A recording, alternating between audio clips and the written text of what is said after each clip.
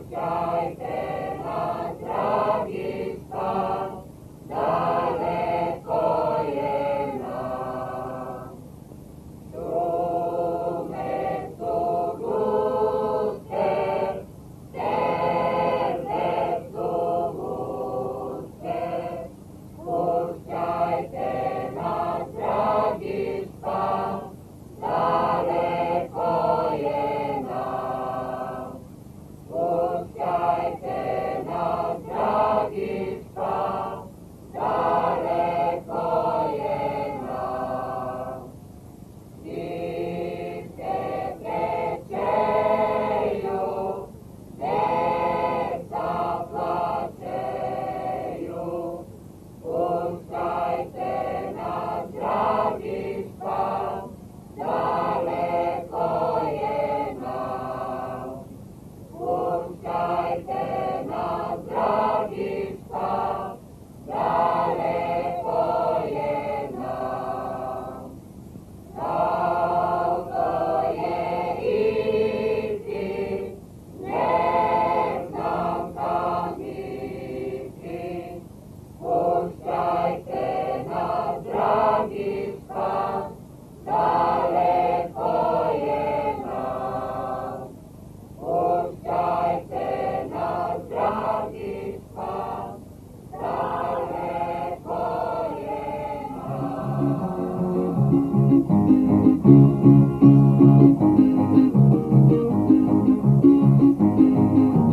Thank you.